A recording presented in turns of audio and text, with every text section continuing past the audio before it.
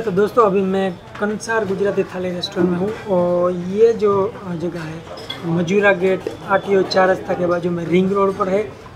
यहाँ की गुजराती थाली थोड़ी अलग है। ट्रेडिशनल गुजराती नहीं है, मगर थोड़ा सा फ्यूज़न है और थोड़ा सा राजस्थानी थोड़ा सा पंजाबी पर दो सब्ज़ियाँ जो है यहाँ पर गुजराती है, कटी भी गुजराती है। उसके साथ में ये स्वीट है जो मठा, जिसको बोलते हैं वो भी गुजराती है और बाजरे की रोटी यहाँ पर और फुल्का है, पूरी है मिक्स चाट है और ढोकला है यहाँ का, ग्रीन ढोकला और चाइनीज़ समोसा है। तो चलिए अब मैं टेस्ट करता हूँ और आपको बताता हूँ कि यहाँ की स्पेशलिटी क्या है। सबसे पहले मैं जो है यहाँ की जो ये रोटी और सब्ज़ी, कठोर की सब्ज़ी बोलते हैं जिसको गुजराती में मिक्स कठोर है तो वहीं से शुरुआत करते हैं।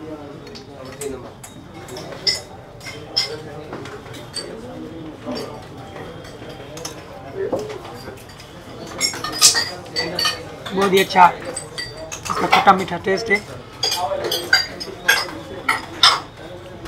गुजरात में बाजरे की रोटी आपको हर जगह मिल जाएगी। ये बाजरे की रोटी है जो घी और गुड़ के साथ सर्व की गई है।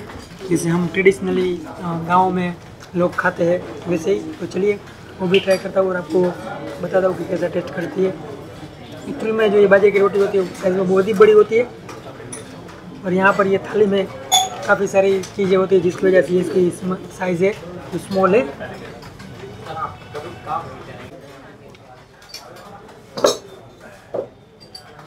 लाजवाब टेस्ट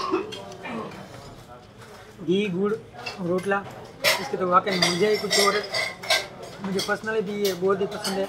और ये गुजरात की गाँव की खास करके बहुत ही बड़ी पहचान है। अब मैं ट्राई करूँगा यहाँ का जो ये मठा है ड्राई अमेरिकन मठा जिसको बोलते हैं, यहाँ पर थोड़ा टेस्टेड है। ये भी लेते हैं।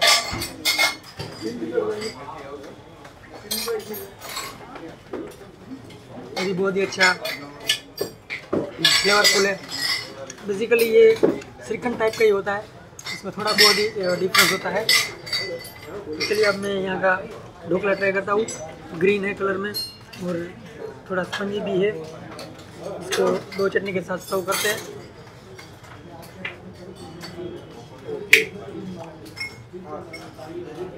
हल्का हल्का सा खट्टापन।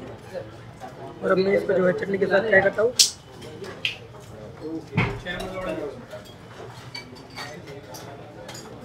ठीक ठाक है, कोई ढोकला इतना स्पेशल नहीं है जितना होना चाहिए। मगर अब मैं जो है यहाँ की ये चाट है मिक्स चाट है। वो ट्राई करूँगा।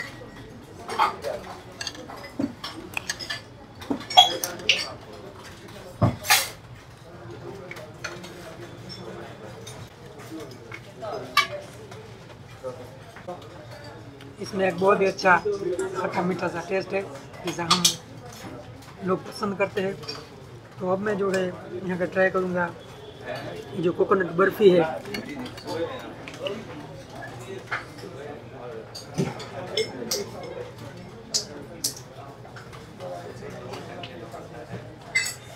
ये बर्फ़ी वाकई में लाजवाब है, टेस्ट में बिल्कुल ट्रेडिशनल टेस्ट है। जैसा गुजरात में हर जगह होता है। ये मुझे बहुत ही पसंद आई। ये मठा भी मुझे बहुत ही पसंद आया और ये मिक्स कटोल की सब्ज़ी है। वो भी वाकई में लाजवाब है। अब चलिए, थोड़ा ये आलू मेथी की सब्ज़ी ट्राई कर लेते हैं। आलू मेथी की सब्ज़ी है जो थोड़ा राजस्थानी ट्विस्ट है उसमें। बिल्कुल सिंपल ना तो ऑयली है, ना तो मसालेदार। तो ये एक अच्छी बात है। गुजराती थाली में चाइनीज़ समोसा, आमतौर पर ऐसा नहीं होता। ज़्यादातर गुजराती फरसानी होता है, पर चलिए, ये भी ट्राई करते हैं। इसमें थोड़ा सा डिफरेंट टेस्ट है। मगर ये समोसा है, वो भी खस्ता है।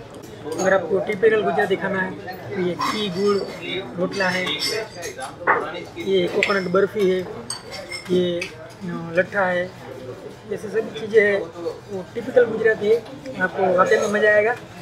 यहाँ पर थोड़ा फ्यूज़न टच है, मगर ओवरऑल देखें तो एक्सपीरियंस वाकई में अच्छा रहा टेस्ट वाइज इंग्रेडिएंट्स वाइज और खाना है जो ज़्यादा ऑयली भी नहीं है तो ये एक अच्छी बात है। 啊好嘞